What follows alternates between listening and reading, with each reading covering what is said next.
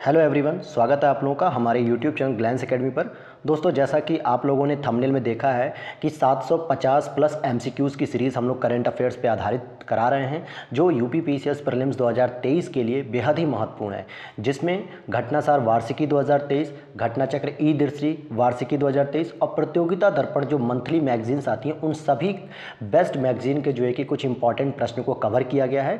तो ये साढ़े सात सौ प्लस मत समझिए, इसमें जो व्याख्या और स्टेटमेंट और जो ऑप्शन दिए गए उनके अकॉर्डिंग ये लगभग हज़ार प्लस एम बन जाएँगे। तो अगर आप लोग पीसीएस की तैयारी कर रहे हैं और करंट अफेयर्स की आपको जो समस्या आ रही है कि कैसे सॉल्व करें तो इस पाँच क्लास को देख लीजिएगा। आज ये तीसरी क्लास है और अगली दो क्लासेज और आएँगी, जिसमें साढ़े सात सौ क्वेश्चन समाप्त हो जाएँगे। आज तो हम लोग क्वेश्चन नंबर 201 से शुरू करेंगे। पिछली दो क्लासेज में हमने सौ सौ क्वेश्चन किए हैं और आज हो सकता है हम लोग 125 से 130 क्वेश्चन भी कर लें, जिससे समय रहते हम इसको कंप्लीट कर लें और आप लोग रिवीजन भी आसानी से कर लें। तो ध्यान दीजिएगा, ये बेहद ही महत्वपूर्ण सीरीज़ है और आप लोग इसे मिस मत करिएगा। पेड अगर इसकी पीडीएफ चाहते हैं तो टेलीग्राम चैनल को ज्वाइन कर लीजिए, लिंक डिस्क्रिप्शन बॉक्स में दिया हुआ है। और साथ ही साथ, आप लोग प्रीवियस ईयर पेपर, दृष्टि आई के प्रैक्टिस पेपर, ध्येय आई के प्रैक्टिस पेपर और घटना चक्र पूर्वालोकन की सभी क्लासेस तो नहीं बल्कि मैराथन इस समय आप देख सकते हैं तो सब कुछ ईजिली अवेलेबल है। प्लेलिस्ट में जाइए। घटनासार वार्षिकी और घटना चक्र ई दृष्टि की करंट अफेयर्स की क्लासेस भी कराई गई हैं। तो आप लोग सभी कुछ आप एक्सेस कर सकते हो और अभी भी पंद्रह दिन में बहुत कुछ आप कर सकते हैं। दो से तीन चीज़ों को आप कर लीजिए। आपका सलेक्शन इस बार प्रीलिम्स में ज़रूर होगा। और यहाँ से मैं कह सकता हूँ कि 25 से 26 क्वेश्चन ज़रूर आपके फंसेंगे तो ये सीरीज़ बिल्कुल मत मिस करना करंट अफेयर्स की जो साढ़े सात सौ क्वेश्चन की है। ऐसी सीरीज़ आपको यूट्यूब पे कहीं नहीं मिलेगी, केवल एक ही प्लेटफॉर्म है वो है ग्लैंस अकेडमी जो आप सभी के लिए प्रतिबद्ध है डेडिकेटेड है, आप लोगों की मंजिल में एक सहयोग के रूप में। तो चलिए शुरू करते हैं हम लोग आज क्वेश्चन नंबर 201 से। क्वेश्चन नंबर 201 है, जन विश्वास विधेयक 2022 22 दिसंबर 2022 को लोकसभा में पेश किया गया। इस विधेयक के बारे में निम्नलिखित में से कौन सा कथन सत्य है? तो कारोबारी सुगमता बढ़ाने के उद्देश्य से बयालीस अधिनियमों के एक सौ तिरासी प्रावधानों को संशोधित करके लघु अपराधों में सजा के प्रावधान को समाप्त करना है। तो यही इसकी बात सही है, क्योंकि ये कारोबारी सुगमता से संबंधित है और इसमें बयालीस अधिनियमों को समाप्त किया जाएगा। अगला प्रश्न दो अंतर्राष्ट्रीय सम्मेलनों के युग्म पर विचार करना है। कॉप 19 ऑफ़ सिटीज़ 14 15 जो 14 से 25 नवंबर 2022 में आयोजित हुआ, वहीं कॉप 27 जो कि U N F triple C का 6 से 18 नवंबर 2022 को हुआ, मिस्र के कहाँ पे? शर्म अल शेख शहर में। तो कौन सा कथन सही हो जाएगा? तो दोनों ही स्टेटमेंट यहाँ पर आपके सही हैं। अगला पूछा जा रहा है 203 global offshore wind alliance, यानी कि जिसको हम गोवा भी कह सकते हैं, कि पहल किसके द्वारा शुरू की गई है? यह अंतर्राष्ट्रीय नवीकरणीय ऊर्जा एजेंसी के द्वारा शुरू की गई है, या फिर हम आगे देख लेते हैं, डेनमार्क सरकार के द्वारा शुरू की गई है, या फिर वैश्विक पवन ऊर्जा परिषद या संयुक्त राष्ट्र पर्यावरण परिषद। तो ये जो गोवा जो की योजना है, इसको जो शुरू किया गया है दोस्तों, वो किया गया है ए ऑप्शन, यानी कि एक, दो, तीन। इसमें संयुक्त राष्ट्र पर्यावरण कार्यक्रम को छोड़ दिया जाए तो बाकी तीनों ही संस्थाएँ इसमें शामिल हैं। अगला प्रश्न है आपका। 204 रेपो दर में विगत महीनों में लगातार वृद्धि से बैंकों ने अपने ऋणों और जमाओं पर ब्याज दरों में वृद्धि की। सरकार ने अपनी लघु बचत योजनाओं पर भी ब्याज वृद्धि 1 जनवरी 2023 से की है। तो राष्ट्रीय बचत पत्र, जिसको हम एनएससी कहते हैं नेशनल सेविंग जो सर्टिफाइड होते हैं सर्टिफिकेट पर सालाना ब्याज दर कितनी की गई है? अब कितनी की गई है? तो सेवन प्रतिशत कर दी गई। कितनी की गई है? सेवन प्रतिशत। अगला प्रश्न 205 विश्व बैंक द्वारा दिसंबर 2022 में जारी एक रिपोर्ट के संदर्भ में निम्नलिखित में से कौन सा कथन सही है? वर्तमान में विश्व के 73.3 करोड़ लोगों के पास बिजली नहीं होगी और 2030 तक विश्व के सड़सठ करोड़ लोग बिना बिजली के रह रहे होंगे। तो दोनों ही बातें यहाँ पर सही है, ऐसी इस रिपोर्ट में कहा गया है।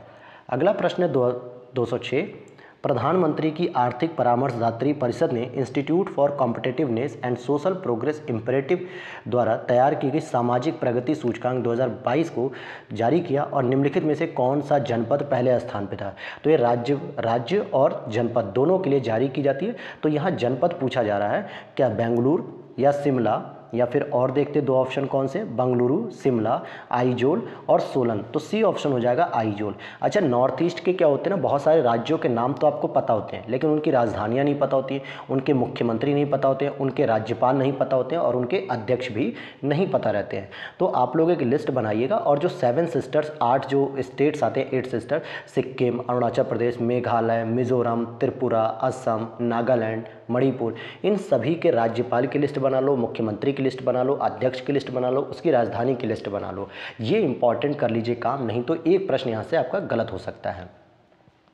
अगले प्रश्न की ओर चलते हैं। सितंबर 2022 में निम्नलिखित में से किस राज्य या संघ शासित क्षेत्र को देश का पहला स्वच्छ सुजल प्रदेश घोषित किया गया? तो बी ऑप्शन हो जाएगा यूनियन टेरिटरी, या राज्य दोनों ही अगर पूछता है, राज्य भी या यूनियन टेरिटरी तो इसमें बी ऑप्शन आपका करेक्ट हो जाएगा, अंडमान निकोबार द्वीप समूह। अगला प्रश्न है जल जीवन मिशन के अंतर्गत निम्नलिखित में से किस राज्य के प्रत्येक घर में स्वच्छ पेयजल की आपूर्ति नलों द्वारा होती है? तो गोवा, तेलंगाना, गुजरात, हरियाणा। तो आप यहाँ पर देखेंगे कि एक और चार यहाँ पर सही है। एक और चार यानी कि गोवा और हरियाणा ही हैं। हालाँकि जो है कि अब तो और भी आने लगे हैं, लेकिन अभी तक केवल रिकॉर्ड में, ऑन रिकॉर्ड जो है कि यही है। क्वेश्चन नंबर 209 है, केवल विवाहित महिलाओं द्वारा संचालित इमाकी, जो इमा कीथल बाज़ार कहाँ पर स्थित है? तो ये आपका कहाँ पर हो जाएगा? इम्फाल मणिपुर में। कहाँ पर है ये? इम्फाल मणिपुर। और ये कल की क्लास में हमने डिटेल पर इसमें एक प्रश्न भी किया है। अगला प्रश्न है, इंडियन प्रीमियर लीग की लघु नीलामी में निम्नलिखित में से किस क्रिकेटर को सर्वाधिक बोली लगाकर खरीदा गया? तो जो आईपीएल की इस बार जो लीग हुई थी, उसमें सबसे महँगा खिलाड़ी कौन बिका है? तो इंग्लैंड के हरफन मौला क्रिकेटर सैम कुरन साहब, क्योंकि इन्होंने टी ट्वेंटी में जो पिछली बार टी हुआ दो हज़ार बाईस, बहुत अच्छा प्रदर्शन किया, इसलिए ये सबसे महँगे खिलाड़ी के रूप में बिके। अगला, निम्नलिखित में से किस निकाय द्वारा नमामि गंगे स्वच्छ गंगा पहल हेतु राष्ट्रीय मिशन को विश्व के शीर्ष 10 उद्धार फ्लैगशिप कार्यक्रमों में शामिल किया गया? तो संयुक्त राष्ट्र संघ के द्वारा इसे शामिल किया गया। देखिए पीसीएस में ऐसे वन लाइनर प्रश्न भी पूछे जाते हैं और ऐसे स्टेटमेंट वाले भी प्रश्न पूछे जाते हैं। तो दोनों ही प्रकार के यहाँ प्रश्न देखने को मिलेंगे आपको। निम्नलिखित युग्म पर विचार कीजिए हाथी, मृत्यु, ऑडिट, तमिलनाडु के द्वारा तोहफी कार्यक्रम, हरियाणा के द्वारा, लखपति दीदी कार्यक्रम, उत्तराखंड और हर घर जंग, गंगा जल योजना बिहार के द्वारा। तो कितने युग्म सही सुमेलित है? केवल एक, केवल दो, केवल तीन, केवल चार। तो यहाँ पे चार का मतलब केवल चौथा ही नहीं, बल्कि चार का मतलब चारों युग्म सुमेलित हैं। और यहाँ पे दो का मतलब केवल दूसरा नहीं, बल्कि कोई भी दो सुमेलित हैं। तो इसका डी ऑप्शन है कि चारों ही जो है कि योजनाएँ सही हैं। अगला प्रश्न दो सौ तेरह गुजरात में दिसंबर 2012 में 2022 में हुए राज्य विधानसभा चुनाव में रिकॉर्ड विधानसभा सीटें एक सौ सत्तावन पर जीत हासिल करने के बाद भारतीय जनता पार्टी ने गुजरात राज्य में लगातार 29 वर्षों तक शासन करने का रिकॉर्ड बनाया। आज़ादी के बाद से अब तक भारत में किसी राजनीतिक दल ने किसी राज्य में सर्वाधिक अवधि तक ये शासन किया है। तो अब ये पूछा जा रहा है कि किस राजनीतिक दल ने किया आज़ादी के बाद से ऐसा? तो ये हो जाएगा पश्चिम बंगाल में सीपीएम के द्वारा इससे भी अधिक लगभग सैंतीस वर्ष तक शासन किया गया है। अगला प्रश्न, किस मंत्रालय द्वारा प्रधानमंत्री कौशल के कार्यक्रम को प्रधानमंत्री विरासत संवर्धन योजना के रूप में कन्वर्ट किया गया है? तो इसका हो जाएगा अल्पसंख्यक मंत्रालय ने इसका नाम बदल दिया है। अल्पसंख्यक कार्य मंत्रालय। अगला प्रश्न 215 विश्व असमानता रिपोर्ट 2022 के निम्नलिखित में से कौन सा कथन सही है? इसे ऑक्सफैम द्वारा जारी किया था रिपोर्ट के अनुसार भारत में शीर्ष एक परसेंट आबादी को राष्ट्रीय आय का 50 परसेंट से अधिक प्राप्त है। तो इसमें पूछा जा रहा है कौन सा सही है? तो न तो एक सही है और न ही दूसरा सही है, क्योंकि जो शीर्ष एक परसेंट आबादी है, उसको फिफ्टी परसेंट नहीं, बल्कि उससे ज़्यादा प्राप्त है। आगे चलते हैं। वर्ल्ड पॉपुलेशन प्रोस्पेक्ट 2022 नामक रिपोर्ट के संदर्भ में निम्नलिखित कथनों पर विचार करते हैं। यह रिपोर्ट पॉपुलेशन एक्शन इंटरनेशनल नामक संस्था द्वारा जारी की जाती है। इस रिपोर्ट के अनुसार 15 नवंबर 2022 को दुनिया की आबादी 8 अरब तक पहुँच चुकी है या उसको पार कर गई। तो यहाँ पर आप देखोगे कि दूसरा स्टेटमेंट तो सही है, लेकिन पहला गलत है। क्योंकि ये जो रिपोर्ट है, ये डब उसके यूएनओ के द्वारा जारी की जाती है। किसके द्वारा जारी की जाती है? यूएनओ के द्वारा। अगला प्रश्न यहाँ पे 217 और यहाँ पे कुछ पुस्तकें लिखी हुई हैं और उनके सामने उनके लेखक लिखे हुए हैं। तो इसका मिलान करना है। क्या करना है? इसका मिलान करना है। तो चलिए शुरू करते हैं हम लोग। The light we carry Ambedkar a life, the seven moons of Maali Almeida और Ambedkar and Modi Modi reform ideas. तो आइए इसको जो है कि हम लोग कूट के माध्यम से समझते हैं। तो इसका उत्तर आप देख लीजिए, the light we carry Michelle Obama की है, अंबेडकर अ लाइफ शशि थरूर जी की है और the seven moons of Maali Almeida Shehan Karunatilaka की है, जिसके लिए इन्हें 2022 का बुकर पुरस्कार भी दिया गया और Ambedkar and Modi reforms ideas, ये इलैया राजा की है। आगे देख लेते हैं इसके बारे में अब हम। 218 प्रश्न अगला है। बायो एशिया 2023 के निम्नलिखित कथनों पर विचार कीजिए और असत्य कथन। यहाँ पर ध्यान दीजिएगा कि असत्य पूछा जा रहा है या सत्य ऐसा प्रश्न अक्सर आता है, प्रश्न और गलत हो जाता है हमसे। इसका आयोजन फरवरी 2023 में हैदराबाद में किया गया। यह मध्य एशिया का सबसे बड़ा जैविक प्रौद्योगिकी एक जीव विज्ञान मंच है, जो कि मध्य एशिया के देशों का। और इसका मुख्य विषय था advancing for one shaping the next generation human aged health care. तो डी ऑप्शन हो जाएगा कि इसका यह बायो एशिया का पच्चीसवां संस्करण नहीं था ये।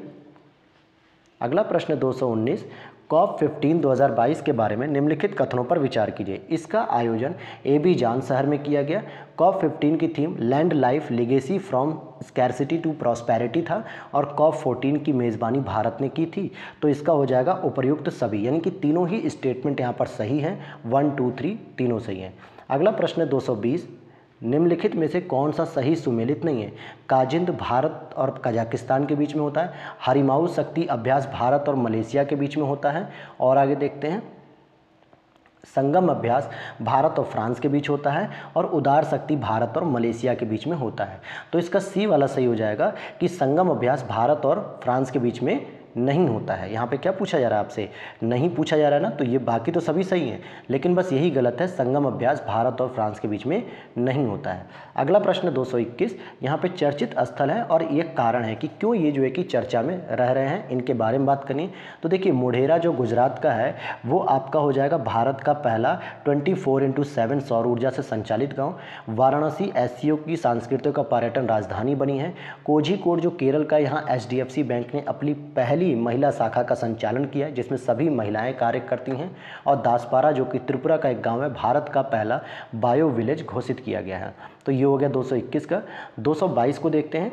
सत्रहवें प्रवासी भारतीय दिवस सम्मेलन के मुख्य अतिथि कौन होगा, जो वर्ष 2023 में आयोजित किया गया?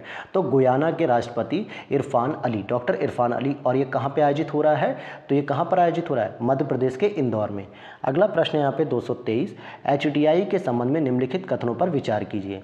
मानव विकास सूचकांक 2021 में एक सौ इक्यानवे देशों और क्षेत्रों में भारत एक एक स्थान पर है। कहने मतलब मानव विकास सूचकांक में जो एक देशों की लिस्ट जारी हुई, इसमें भारत एक नंबर पे है और एचडीआई रिपोर्ट 2022 में एक देशों में से भारत आपके एक स्थान पर है। तो पूछा जा रहा है कौन सा सही है तो आप देखेंगे कि दोनों ही सही नहीं हैं। क्या हो जाएगा? दोनों ही सही नहीं है। ओके? क्यों ऐसा? क्योंकि 132 नंबर पे 2022 में है और जबकि 2021 में 131 नंबर पर था। आगे देखते हैं। केंद्रीय चिड़ियाघर प्राधिकरण चिड़ियाघर प्राधिकरण की हालिया रैंकिंग में कौन से भारतीय प्राणी उद्यान शीर्ष पर रहा है? तो Padmaja Naidu Himalayan zoological park, जो दार्जिलिंग, वेस्ट बंगाल में इसको जो है कि दर्जा दिया गया है, जो भारतीय प्राणी उद्यान शीर्ष पर है। अगला प्रश्न है, आदि सौर्य पर्व पराक्रम का निम्नलिखित में से कौन सा कथन सही नहीं है? तो यहाँ सही नहीं पूछ रहा है। यह तेईस जनवरी से चौबीस जनवरी दो हज़ार तेईस को जवाहरलाल नेहरू स्टेडियम, न्यू दिल्ली में आयोजित किया गया। इसका आयोजन जनजातीय मामलों के मंत्रालयों द्वारा किया किया गया। इस समारोह के अंतर्गत रोमांचक शौर्य प्रदर्शनों के साथ साथ जनजातीय नृत्यों के बहुरूप दर्शक के माध्यम से उत्साह ऊर्जा का प्रदर्शन किया गया। समारोह में सैन्य टैटू में सशस्त्र बलों की शक्ति का प्रदर्शन किया गया। तो आपका ट्वेंटी दो का हो जाएगा बी, क्योंकि इसको जनजातीय मामलों के मंत्रालयों द्वारा आयोजित नहीं किया गया। अगला प्रश्न है किस देश का लक्ष्य 2050 तक शुद्ध शून्य उत्सर्जन के लक्ष्य पर आगे बढ़ना है? जर्मनी, यूरोपीय संघ, आगे देखते हैं। जर्मनी हो गया, यूरोपीय संघ हो गया, भारत हो गया, चीन हो गया। तो इसका सही उत्तर हो जाएगा D option, sorry, B option हो जाएगा यूरोपीय यूनियन। यहाँ पे आप देख सकते हो 226 का हो जाएगा बी, यूरोपीय संघ। इसको जो है कि 2050 तक जो है कि अपना लक्ष्य रखा है इसने। और जबकि भारत का लक्ष्य कितना है? 2070 तक है। आगे देखते हैं दो सौ सत्ताईस। क्लाइमेट इक्विटी मॉनिटर जलवायु कार्रवाई में इक्विटी का आकलन करने के लिए एक ऑनलाइन डैशबोर्ड के अनुसार भारत का प्रति व्यक्ति उत्सर्जन कितना है? तो 2.4 2.4 प्रति। ये इसका एक आंकड़ा है। ये वैज्ञानिक भाषा में लिखा हुआ है तो इसको आप बस 2.4 याद कर लीजिए। विश्व पर्यावरण दिवस 2022 की थीम क्या है? 2023 की थीम तो अभी पता नहीं है पाँच जून को होगा। तो 2022 की थीम आप बताइए। तो इसका जो सही उत्तर हो जाएगा वो हो जाएगा आपका only one earth living sustainable in harmony with nature तो 228 का हो गया बी ऑप्शन अगला देखते हैं दो सौ उनतीस नंबर प्रश्न. निम्नलिखित में से किस योजना ने भारत में खाद्य सुरक्षा सुनिश्चित करने में मदद की है? प्रधानमंत्री किसान सम्मान निधि, प्रधानमंत्री गरीब कल्याण अन्न योजना. तो दो सौ उनतीस का सी दोनों ने ही यह मदद की खाद्य सुरक्षा के लिए. अगला प्रश्न यहाँ पर। निम्नलिखित में से किस योजना के तहत आय पैदा करने वाली गतिविधियों के लिए आसान शर्तों पर ऋण प्रदान किया जाता है? प्रधानमंत्री मुद्रा योजना, प्रधानमंत्री श्रम योगी मानधन योजना या प्रधानमंत्री वय वंदना योजना? तो इसका जो सही आंसर हो जाएगा ए ऑप्शन, प्रधानमंत्री मुद्रा योजना के तहत सस्ते ऋणों पर मतलब आसान शर्तों पर ऋण प्रोवाइड किया जाता है। 231 प्रश्न को देखते हैं। जीवन की गुणवत्ता के पारिस्थितिकी तंत्र में सुधार के लिए प्रारंभ में की गई बहुआयामी पहल में कौन कौन सी शामिल हैं? तो आप देखेंगे, प्रधानमंत्री ग्राम सड़क योजना, पीएम श्री योजना, प्रधानमंत्री उज्ज्वला योजना, हर घर नल से कार्यक्रम और सौभाग्य योजना। तो ये चारों पाँचों ही ऑप्शन सही हैं, क्योंकि पाँचों ही योजनाएँ इसमें पारिस्थितिकी तंत्र में सुधार के लिए इंपॉर्टेंट हैं। अगला है दो सौ बत्तीस। संयुक्त राष्ट्र बहुआयामी गरीबी सूचकांक के अनुसार 2005-6 से 2019-21 के बीच भारत में कितने लोग गरीबी से बाहर आए मतलब एक आंकड़ा जो है कि बताया गया है तो लगभग 41 करोड़ लोग गरीबी से अब बाहर आ चुके हैं। अगले प्रश्न को देखते हैं। 233 श्री अन्न के संदर्भ में निम्नलिखित में से कौन सा कथन सही नहीं है? श्री अन्न का उल्लेख 2023-24 के केंद्रीय बजट में किया गया। ज्वार, रागी, बाजरा, कुट्टू, रामदाना, कंगनी, कुट कुटकी, कोदो, चीना, सामा, इन सभी को श्री अन्न का नाम दिया गया है। यह भी सही है। श्री अन्न एक विशेष प्रकार का धान है जो पश्चिम बंगाल में उगाया जाता है। तो ये गलत है क्योंकि श्री अन्न जो है मोटे अनाज को कहा जाता है। और भारत विश्व में श्री अन्न का सबसे बड़ा उत्पादक है। यह बात तो बिल्कुल सही है। आगे देखते हैं। अगला प्रश्न, दो सौ चौंतीस। 2023-24 के केंद्रीय बजट में निम्नलिखित में से किस फ़सल की उत्पादकता वृद्धि के लिए विशेष उपाय अपनाए जाने की बात की गई है? तो कपास के लिए। अगला प्रश्न यहाँ पे 235 राष्ट्रीय डिजिटल पुस्तकालय की स्थापना मुख्य रूप से किस वर्ग के लिए की जा रही है? अब ये जो प्रश्न आप लोग देख रहे हैं पाँच छः प्रश्न अभी लगातार मिलेंगे, ये केंद्रीय बजट जो 2023-24 का है, उसमें से ये प्रश्न बनाए गए हैं। तो ये पूछा जा रहा है, राष्ट्रीय डिजिटल पुस्तकालय की स्थापना किसके अनुसार की जाएगी या किसके लिए की जाएगी? तो बच्चों और किशोरों के लिए की जाएगी। ए ऑप्शन यहाँ पर सही है। 236 वर्ष 2023-24 के बजट में घोषित पीवीजीटी विकास मिशन किस वर्ग के सर्वांगीण विकास हेतु लक्षित है।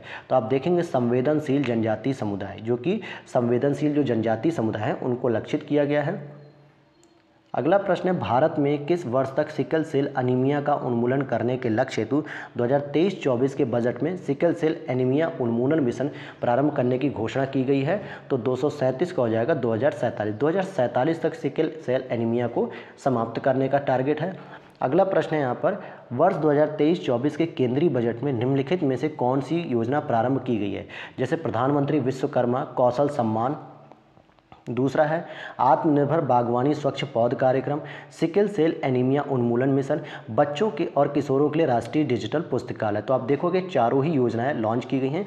अब आपसे प्रश्न अगर पूछ लिया जाए 2023-24 में कौन सी योजना शामिल नहीं है तो आप ये चार योजना अगर याद करके गए और कोई ऐसी योजना जो इसमें नहीं थी, वो आपका ऑप्शन आंसर हो जाएगा बिल्कुल सही।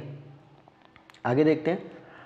निम्नलिखित कथनों में से कौन सा कथन सही है? तो जलवायु परिवर्तन पर संयुक्त राष्ट्र फ्रेमवर्क सम्मेलन, कॉप 27 शर्म अल शेख मिस्र में आयोजित हुआ और कॉप 15 जो कि जैव विविधता का था, ये मॉन्ट्रियल, कनाडा में आयोजित हुआ। तो दोनों ही बातें सही हैं, यहाँ पर पूछा जा रहा है कॉप 27 हाँ दोनों ही बातें सही हैं यहाँ पे तो सी ऑप्शन इसका सही हो जाएगा। क्या हो जाएगा इसका ऑप्शन? सी सही है।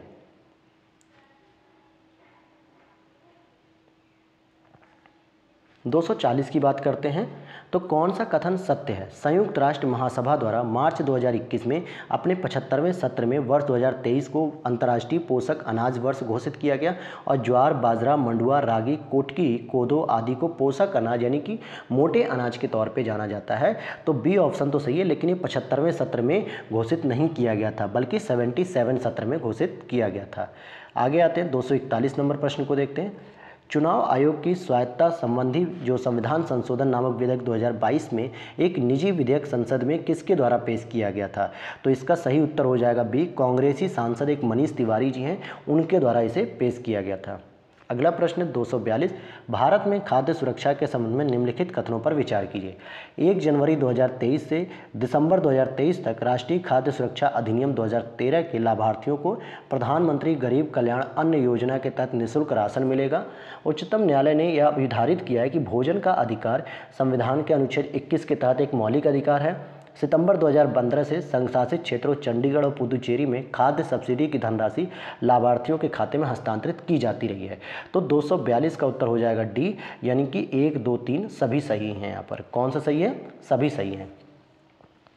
अगला प्रश्न, वित्त मंत्री निर्मला सीतारमण के बारे में कौन सा कथन सत्य नहीं है? वे लोकसभा की सदस्य हैं तो दोस्तों यही गलत हो गया, क्योंकि वो राज्यसभा की सदस्य है। किसकी? राज्यसभा की। एक फरवरी 2023 को लगातार पांचवा संघीय बजट उन्होंने प्रस्तुत किया, ये भी सही है। संघीय बजट पेश करने वाली वे स्वतंत्र भारत की दूसरी महिला है तो यह भी सही है। और पहली महिला कौन थी? इंदिरा गांधी जी थी। इंदिरा गांधी ने भी एक बार बजट पेश किया था, जब उन, वो छियासठ से उनहत्तर के बीच में थी। और अगला संसद में लगातार पाँच बार संघीय बजट पेश करने वाली छठी वित्त मंत्री हैं। बिल्कुल ये बात सही है। आगे देखते हैं। अगला प्रश्न है दो Telugu film R R R triple R के बारे में कौन सा कथन सही है? तो इस गाने को नाटू नाटू ने गोल्डन ग्लोब अवार्ड 2023 में सर्वश्रेष्ठ पुरस्कार जीता। यह भी सही है। नाटू नाटू गाने ने फ़िल्म के क्रिटिक्स चॉइस पुरस्कार को जीता। यह भी सही है। और आर आर आर को ऑस्कर अवार्ड 2023 के लिए विदेशी भाषा के संवर्ग में नामित किया गया था। तो आप देखोगे यहाँ पे कि केवल पहला और दूसरा सही है। तीसरा गलत है क्योंकि विदेशी भाषा में नहीं, जो इसका जो गाना था ना ऑस्कर में, वो ओरिजिनल सॉन्ग के लिए जीता गया था, न कि विदेशी भाषा के संवर्ग में। तो तीसरा गलत है स्टेटमेंट। आगे देखते हैं, अगला है। यहाँ पे लिखा है V S H O R A D S के बारे में कौन सा कथन सही नहीं है? तो इसकी जो फुल फॉर्म है very short range air defence system संक्षिप्त रूप है इसका। डीआरडीओ द्वारा विकसित मानव द्वारा चलाया जाने वाला पोर्टेबल एयर डिफेंस प्रणाली है ये, और इसकी तकनीकी रूस से ली गई है। 27 सितंबर 2022 को चांदीपुर से इसके दो सफल प्रक्षेपण लिए गए हैं। तो 245 का सी वाला गलत है, क्योंकि स्वदेशी रूप से विकसित किया गया है, न कि इसकी कोई तकनीक रूस वगैरह से ली गई है। अगला प्रश्न है एम वी गंगा विलास जो क्रूज गया है, इस समय बनारस से असम के बीच में, उसकी बात हो रही है कि एम वी गंगा विलास के बारे में निम्नलिखित कथनों पर विचार कीजिए। M V Ganga Vilas cruise Antara luxury river cruise द्वारा विकसित और संचालित एक अंतर्राष्ट्रीय रिवर क्रूज है। तेरह जनवरी 2023 को प्रधानमंत्री द्वारा वर्चुअल तरीके से इसे वाराणसी से डिब्रूगढ़ के लिए रवाना किया गया है। तो यह भी बात सही है। और यह वाराणसी से पटना, साहिबगंज, कोलकाता, ढाका यानी बांग्लादेश, गुवाहाटी होते हुए डिब्रूगढ़ तक की 3200 किलोमीटर की अंतर्देशीय जल यात्रा इक्यावन दिन में पूरी करेगा।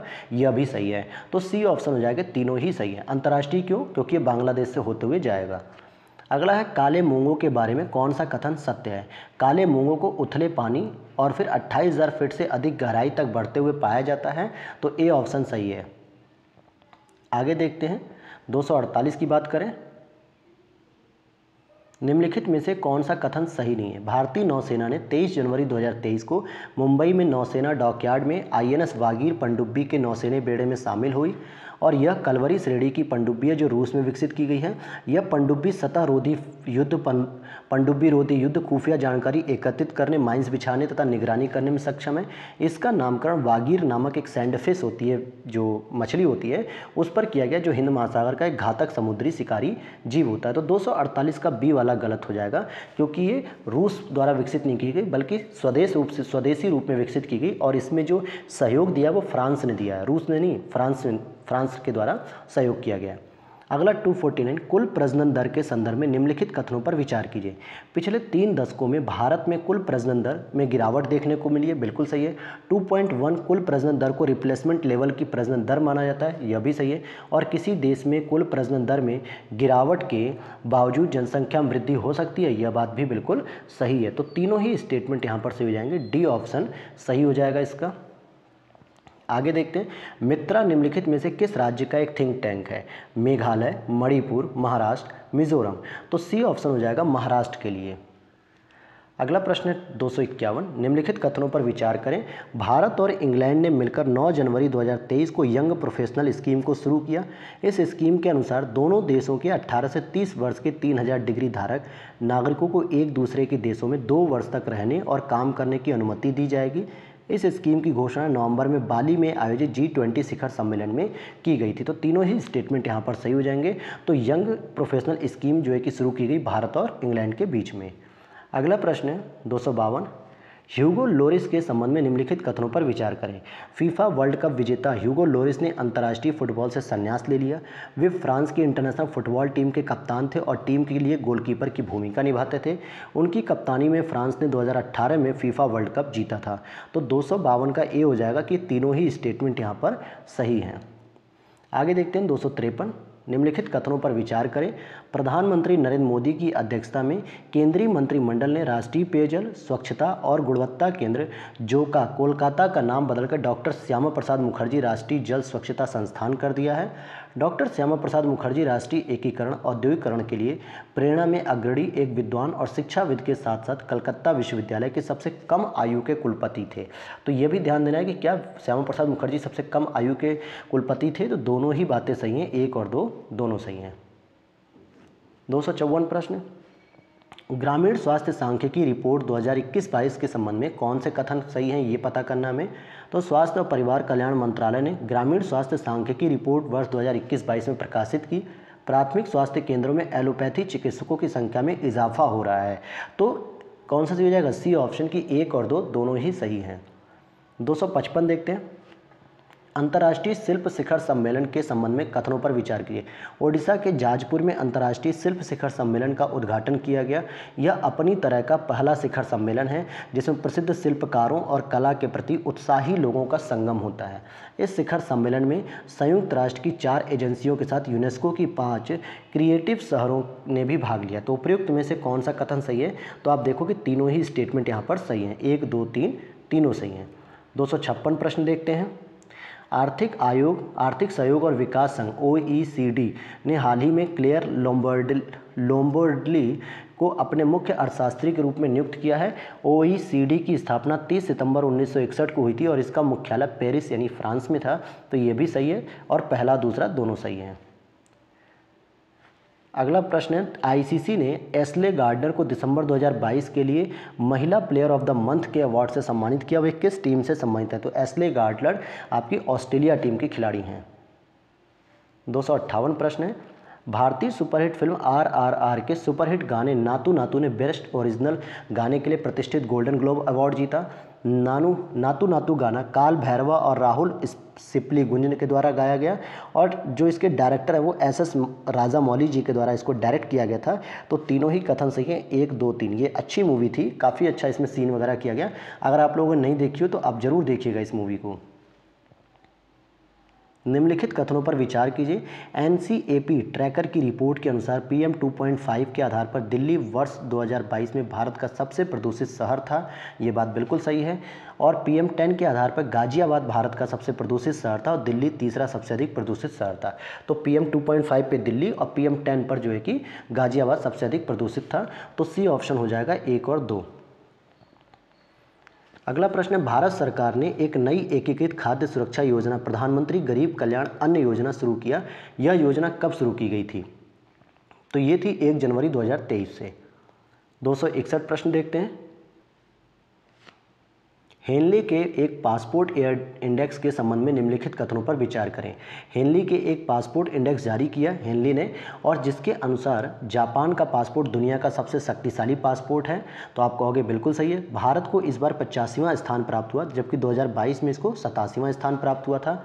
नई रैंकिंग के अनुसार पाकिस्तान का दुनिया का चौथा सबसे खराब पासपोर्ट माना गया, जबकि अफ़गानिस्तान को अंतिम स्थान दिया गया। तो तीनों ही बातें सही हैं, एक, दो, तीन, तीनों ही सही हैं। अगला प्रश्न है यहाँ पे, दो सौ बासठ। निम्नलिखित कथनों पर विचार कीजिए। जम्मू कश्मीर प्रशासन के कार्य को पूरी तरह से डिजिटल तरीके से करने वाला पहला केंद्र शासित प्रदेश बन गया।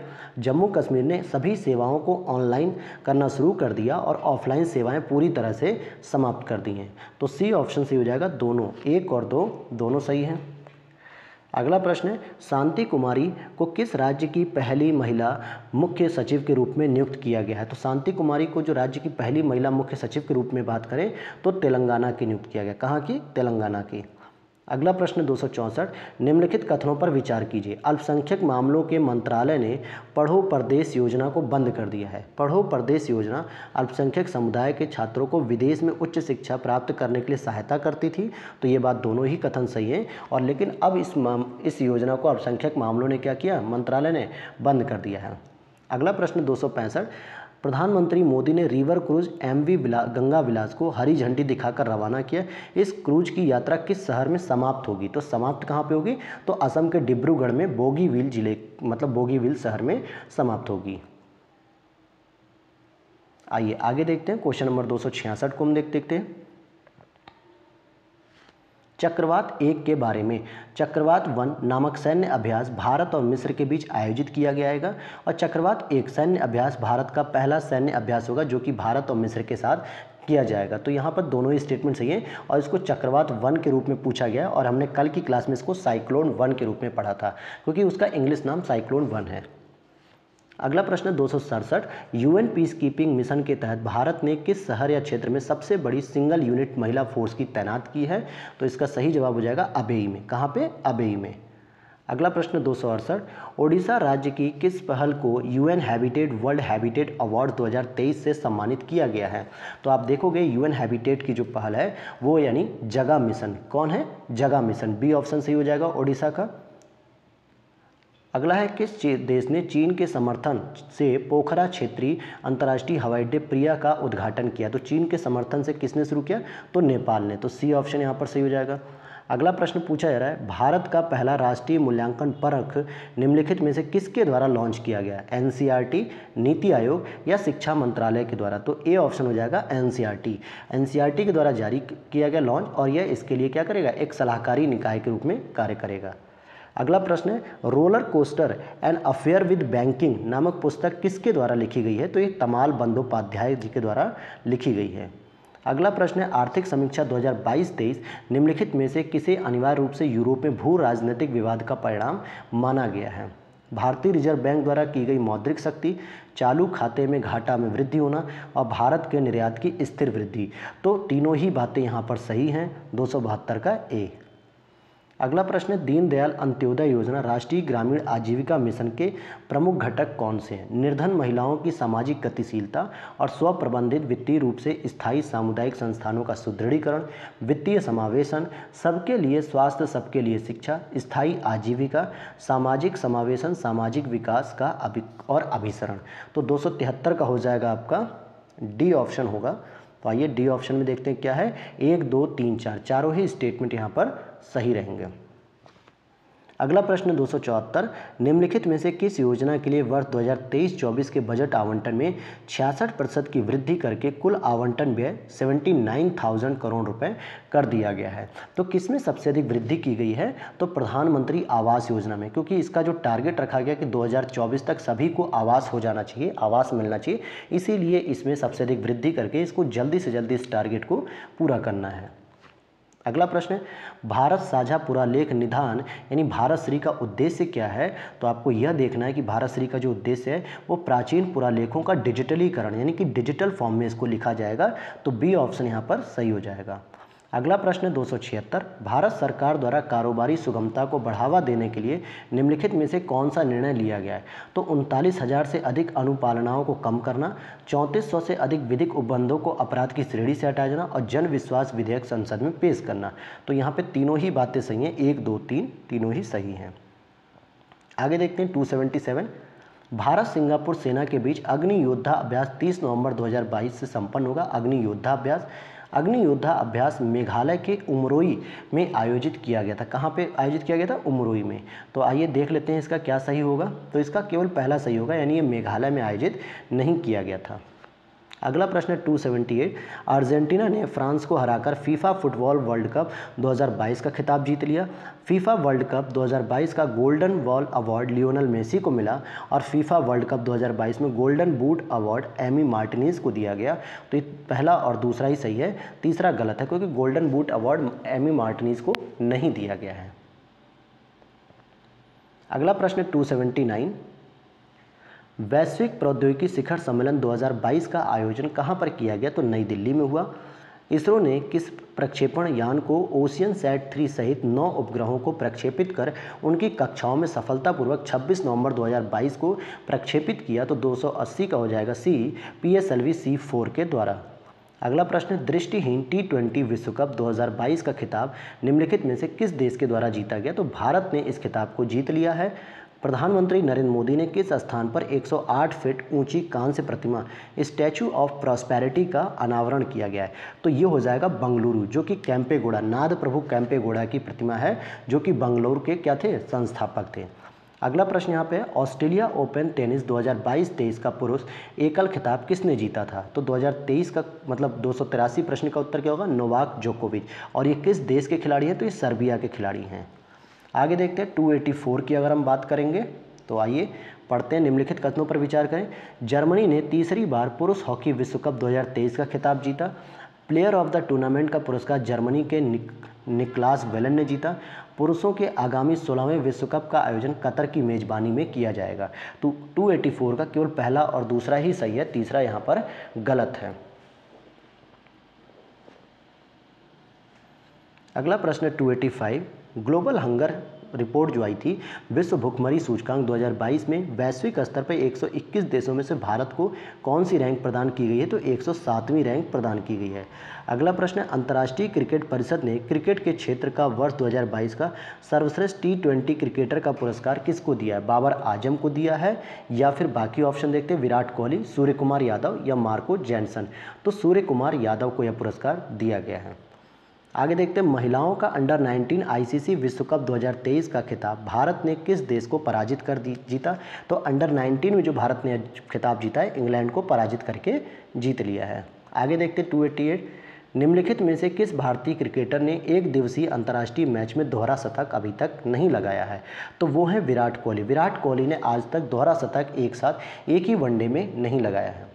अगला प्रश्न राष्ट्रीय सांख्यिकी कार्यालय एनएसओ के 28 फरवरी 2023 के दूसरे अग्रिम अनुमानों में 2022-23 में स्थिर मूल्यों पर भारत के जीडीपी में वृद्धि कितने प्रतिशत देखी गई है? तो ये जब आप इसका उत्तर देखेंगे तो क्या हो जाएगा इसका उत्तर? सी ऑप्शन होगा, सेवन परसेंट। आगे देखते हैं केंद्र सरकार का नया वाइब्रेंट विलेज कार्यक्रम मुख्यतः किससे संबंधित है? तो उत्तरी सीमा के निकटवर्ती गाँवों का विकास करना, जिसमें इसकी शुरुआत अरुणाचल प्रदेश के किबिथू से शुरू की गई है। और आगे देखते हैं, नई दिल्ली में प्रगति मैदान में, नई दिल्ली के प्रगति मैदान में फरवरी 2023 में आयोजित विशाल कार्यक्रम अमृत पैक्स किससे संबंधित है? तो ए ऑप्शन है निवेशक सम्मेलन से, या बी ऑप्शन डाक टिकट प्रदर्शनी, अंतरिक्ष कार्यक्रम से संबंधित एक सम्मेलन, या आयुष औषधि से संबंधित सेमिनार। तो बी ऑप्शन हो जाएगा डाक टिकट प्रदर्शनी से संबंधित था। अगला प्रश्न, भारतीय क्रिकेट के इतिहास में इंडियन प्रीमियर लीग की अपार सफलता के क्रम में महिलाओं की क्रिकेट लीग किस नाम से प्रारंभ की गई है? तो ये हो जाएगी आपकी C option women's premier league किस नाम से? विमेंस प्रीमियर लीग अब जो है कि आईपीएल जैसे पुरुषों का होता है, वैसे अब महिलाओं की भी एक आईपीएल सीरीज़ हुआ करेगी। अगला प्रश्न 293 हाल ही में प्रारंभ की गई विमेंस प्रीमियर लीग में उत्तरी फ्रेंचाइजी टीमों की निम्नलिखित में से कौन सा युग्म सही सुमेलित है? तो आप देखेंगे, Adani sports line Ahmedabad franchise है यह भी सही है। India wins sports Mumbai franchise सही है। Royal challengers sports Bengaluru franchise यह भी सही है। J S W G M R cricket Delhi franchise यह भी सही है। कैपरी ग्लोबल लखनऊ फ्रेंचाइजी तो यह भी सही है। तो डी ऑप्शन हो जाएगा एक, दो, तीन, चार, पाँच। सभी स्टेटमेंट सही हैं। अगला प्रश्न 294 पद्म पुरस्कारों के संदर्भ में निम्नलिखित में से कौन सा कथन सही है? पद्म पुरस्कार चयन समिति का अध्यक्ष भारत सरकार का गृह सचिव होता है। भारत के राष्ट्रपति किसी को दिए गए पद्म पुरस्कार को अमान्य या निरस्त भी कर सकते हैं तो केवल दूसरा तो सही है, लेकिन पहला गलत है, क्योंकि गृह सचिव इसका अध्यक्ष नहीं होता है। अगला प्रश्न है, समाचार की सुर्खियों में रहा एलिफेंट पास, निम्नलिखित में से किस देश में स्थित है? तो एलिफेंट जो पास है, वो किसमें स्थित है? एक मिनट दोस्तों, यहाँ पर ये थोड़ा सा हाँ ठीक है ठीक है, उसका आंसर सही है। अब यहाँ पे 295 प्रश्न का जो आंसर हो जाएगा, वो सी हो जाएगा एलिफेंट पास आपका श्रीलंका में स्थित है। आगे देखते हैं, भारत के किस राज्य में शेर की पूंछ की तरह का मैकॉक, लॉयन टेल्टेड मॉकॉक पाया जाता है? तो ये हो जाएगा तमिलनाडु में केरल में और कर्नाटक में। आंध्र प्रदेश में नहीं पाया था, इसलिए ए ऑप्शन यहाँ पर सही हो जाएगा। और जैसा कि हम लोगों ने आज कहा था, मैंने पहले ही कहा था कि आज मैं कम से कम 125 प्रश्न कराऊँगा तो हम लोग सीधे 325 पर जाके ख़त्म करेंगे। किस टाइगर रिज़र्व में प्रतिवर्ष बेलादा बेलादा कुप्पे मंदिर उत्सव मनाया था तो किसमें मनाया जाता है ये? तो बांदीपुर टाइगर रिज़र्व, जो कि आंध्र प्रदेश में स्थित है। बांदीपुर टाइगर रिज़र्व कहाँ है? कर्नाटक या आंध्र प्रदेश? बताइए। नोरो वायरस निम्नलिखित में से कौन सा कथन सही है? नोरो वायरस को आंत्रशोध के प्राथमिक कारणों में से एक माना जाता है। नोरोवायरस कम तापमान में जीवित रहने में भी सक्षम है। तो ए ऑप्शन सही है कि पहला तो सही है, दूसरा गलत है। अगला प्रश्न 299 अंडमान निकोबार द्वीप समूहों के नवीन नामकरण के संदर्भ में निम्नलिखित में से कौन सा कथन सही है? तो रॉस द्वीप जो है कि नेताजी सुभाष चंद्र बोस, नाम ये बदले गए हैं अभी, और नील द्वीप, शहीद द्वीप हो जाएगा। हैवलाक द्वीप, स्वराज द्वीप हो जाएगा। तो कौन सा सही हो जाएगा? सी ऑप्शन की तीनों ही स्टेटमेंट सही है, यानी कि तीनों के जो नामकरण है वो सही है।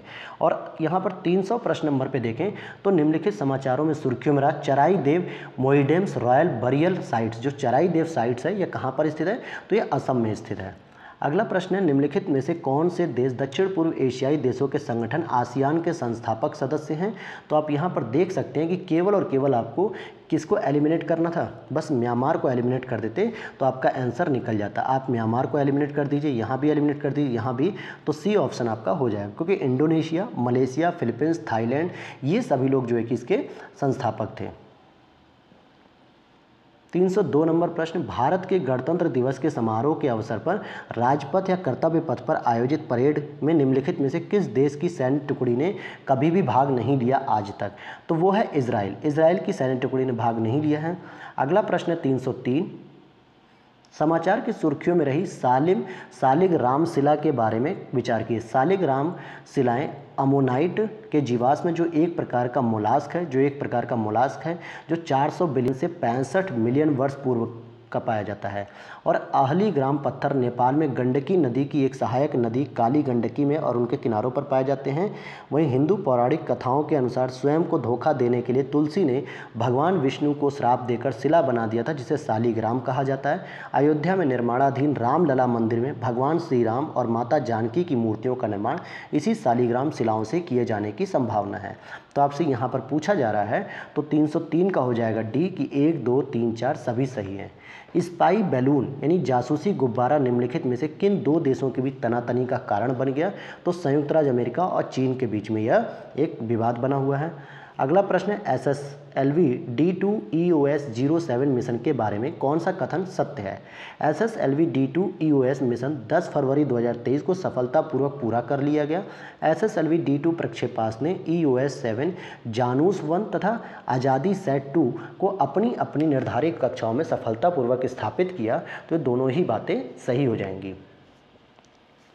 अगला प्रश्न है, भारत का सबसे विशाल तैरता हुआ संगीत में फब्बारा, floating music musical fountain, floating musical fountain कहाँ पर प्रारंभ किया गया है? तो यह देखा जाएगा तो ये आपका जो सही उत्तर हो जाएगा, ए, हुसैन सागर हैदराबाद में स्थापित किया गया, फ्लोटिंग जो है कि किया जाता है मतलब तैरता हुआ जो है कि फव्वारा है और बाईसवें विधि आयोग का कार्यकाल किस अवधि तक बढ़ा दिया गया है? तो 31 अगस्त 2024 तक बढ़ा दिया गया और बाईसवें विधि आयोग के अध्यक्ष कौन है? ऋतुराज अवस्थी जी, जो कर्नाटक हाईकोर्ट के चीफ जस्टिस हैं। 308 प्रश्न नंबर, किस न्यायालय ने यह अभिसारित किया कि परिवार बनाने का व्यक्तिगत विकल्प एक मौलिक अधिकार होगा? ये केरल हाईकोर्ट ने ऐसा निर्णय दिया है। G S S G S M A government leader award 2023 किस देश को प्रदान किया गया है? तो यह भी प्रदान किया गया है आपके भारत को। किसको प्रदान किया गया है? भारत को प्रदान किया गया है। अगला प्रश्न देखते हैं 310 भारत में पहला राज्य कौन सा है जिसमें 100 प्रतिशत घरों में नल कनेक्शन प्रोवाइड कर दिए गए हैं? तो गोवा में है। हाल ही में किस भारतीय संस्थान ने कृत्रिम हृदय तैरता तैयार करने में सफलता हासिल की यानी कि आर्टिफिशियल हार्ट किसने तैयार की? तो आईआईटी कानपुर। ये यूपी के लिए अच्छा प्रश्न है।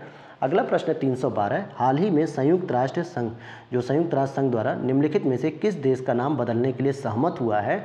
तो वो हो जाएगा आपका सी तुर्की का नाम बदल के तुर्कीय किया जाएगा। किस मंत्रालय ने भारतीय सांकेतिक भाषा dictionary mobile application sign learn जाँच मतलब लॉन्च किया साइन लर्न तो सामाजिक न्याय अधिकारिता मंत्रालय ने। आगे देखते हैं। बार बार बार बार समाचार पत्रों में आने वाले स्विफ्ट प्रणाली क्या है?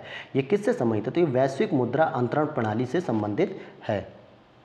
आगे देखते हैं। हाल ही में आरिटा पट्टी जैव विविधता विरासत स्थल किस राज्य का पहला जैव विविधता विरासत स्थल बन गया है? तो ये तमिलनाडु का बन गया है और जबकि भारत का ये कौन सा हो जाएगा? पैंतीसवां हो जाएगा। आगे देखते हैं, किस पेमेंट बैंक ने हाल ही में फेस आधारित ई के शुरू कर दिया है अब? तो अब आप जो है कि अपने फेस को दिखाकर ही ई के करवा सकते हैं एयरटेल पेमेंट बैंक में। अगला प्रश्न है, हाल ही में जारी हुई I Q world air quality report 2022 में भारत का कौन सा स्थान दिया गया? तो आठवां स्थान दिया गया है। अगला प्रश्न है, हाल ही में यूजीसी ने उच्च शिक्षा संस्थान को किस दिवस को हर वर्ष भारतीय भाषा दिवस मनाने के लिए कहा है? तो भारतीय भाषा दिवस 11 दिसंबर को मनाया जाएगा। नवंबर 2022 को भारत के पहले शिकार विरोधी कुत्ते का निधन हो गया और उसका नाम क्या था? तो जोरबा उसका नाम था। क्या नाम था? जोरबा। अगला प्रश्न 320 नंबर पे फसाई द्वारा उत्तर प्रदेश के किस रेलवे स्टेशन को फाइव स्टार रेटिंग और ईट राइट प्रमाणन भी दिया गया है? तो ये हो जाएगा आपका वाराणसी रेलवे स्टेशन। अगला पॉइंट है, प्रधानमंत्री द्वारा हाल ही में उत्तर प्रदेश के किस ज़िले में सांसद खेल महाकुंभ 2022-23 का आयोजन किया गया? तो बस्ती में आयोजन किया गया है। और आगे देखें अगर हम तो यहाँ पर हम देखते हैं कि 16 नवंबर 2022 को मून रॉकेट आर्टेमिस वन निम्न में से किस देश द्वारा लॉन्च किया जा रहा है? तो ये अमेरिका के नासा के द्वारा लॉन्च किया जा रहा है। आगे 26 जनवरी 2023 को नई दिल्ली में विश्व के पहले कोविड रोधी नासिका टीका इनकोवैक को लॉन्च किया गया। इसे किस भारतीय कंपनी ने बनाया? तो ये भारत बायोटेक के द्वारा बनाया गया, जो कि हैदराबाद स्थित है। अगला प्रश्न तीन सौ चौंतीस, हाल ही में भारतीय ओलंप, तीन सौ चौबीस है प्रश्न, भारतीय ओलंपिक संघ के एथलीट आयोग के अध्यक्ष के रूप में किसको चुना गया मीराबाई चानू, मैरी कॉम, मनप्रीत सिंह या मिताली राज? तो मैरी कॉम इसका सही उत्तर हो जाएगा। और आगे देख लेते हैं, क्वेश्चन नंबर हम लोग देखते हैं, तीन सौ पच्चीस नंबर प्रश्न को देखते हैं। तो चलिए शुरू करते हैं। हाल ही में दक्षिण अफ्रीका में आयोजित अंडर 19 महिला टी ट्वेंटी वर्ल्ड कप 2023 की विजेता टीम का क्या नाम है? तो हमारे भारत ने जीता और किसको हराया? इंग्लैंड को हराया। ग्लोबल हंगर इंडेक्स 2022 में भारत की रैंकिंग कितनी है? तो 107 है। हाल ही में भारतीय राष्ट्रीय कांग्रेस के नए अध्यक्ष के रूप में किसको चुना गया? राहुल गांधी के हटने के बाद तो मल्लिकार्जुन खड़गे को चुना गया है। अगला प्रश्न तीन सौ अट्ठाईस। किस राज्य द्वारा प्रसून जोशी को सांस्कृतिक विरासत को प्रोत्साहित करने तो ब्रांड एम्बेसडर बनाया गया है? तो प्रसून जोशी को उत्तराखंड ने अपना ब्रांड एम्बेसडर बनाया है। बौद्ध विश्व बौद्धिक संपदा संगठन द्वारा जारी ग्लोबल इनोवेशन इंडेक्स 2022 में भारत को कौन सा स्थान प्रदान किया गया? तो चालीसवां स्थान प्राप्त हुआ। और अगला देखते हैं। उत्तर प्रदेश का पहला फ़िल्म स्टूडियो कहाँ बनाया जाएगा? उत्तर प्रदेश का जो पहला फ़िल्म स्टूडियो लखनऊ में कुर्सी देवा रोड स्थित एंड्रावली में बनाया जाएगा। राष्ट्रीय शिक्षा नीति से प्रेरित पीएम श्री योजना के तहत पूरे भारत में कितने स्कूलों का विकास एक आदर्श स्कूल या नमूना स्कूल के रूप में किया जाएगा? तो चौदह स्कूल होंगे जो कि ए ऑप्शन करेक्ट हो जाएगा। 24 से 26 जनवरी 2023 तक बायो एशिया के 20वें संस्करण का आयोजन हैदराबाद में किया गया। इसकी थीम क्या थी? तो इसकी थीम थी advancing for one shaping the next generation of humanized health care इसकी थीम थी। अगला प्रश्न 333 किस देश के, किस देश ने फाइनल में दक्षिण अफ्रीका को हराकर आईसीसी महिला टी ट्वेंटी विश्व कप 2023 का खिताब अपने नाम कर लिया? तो यह ऑस्ट्रेलिया हो जाएगा। किसने जीता आईसीसी टी ट्वेंटी तो यह ऑस्ट्रेलिया। एफएटीएफ यानी कि फाइनेंशियल एक्शन टास्क फोर्स किस देश की सदस्यता रद्द करने की घोषणा की है? तो रूस की रद्द करने की घोषणा कर दी गई है। तीन सौ पैंतीसवां प्रश्न होगा आपका। विश्व खाद्य पुरस्कार 2022 किसे दिया गया है भाई? विश्व खाद्य पुरस्कार 2022 डॉक्टर सिंथिया रोसेंज वेग को दिया गया। किसको? रोसेंज वेग को दिया गया, डॉक्टर सिंथिया को। और अगला और यह आखिरी प्रश्न होगा आज की क्लास का। साहित्य के क्षेत्र का वर्ष 2022 का नोबल पुरस्कार फ्रांसीसी लेखिका किसे प्रदान किया गया? तो एनी एर्नोक्स को दिया गया। किसको? एनी एनॉक्स को।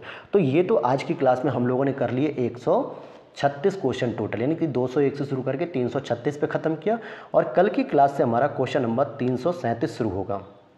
तो अगर आप इसी तरीके से अपडेट्स देखना चाहते हैं, इन क्लासेस को देखना चाहते हैं तो प्लीज़ वीडियो को अधिक से अधिक लोगों के साथ शेयर कीजिए दोस्तों और अपने दोस्तों के साथ भी इस चीज़ को शेयर कीजिए और मिलते हैं नेक्स्ट वीडियो में अगले क्वेश्चन से तीन सौ सैंतीस से। चैनल पर पहली बार आए तो प्लीज़ चैनल को सब्सक्राइब ज़रूर कर लीजिएगा।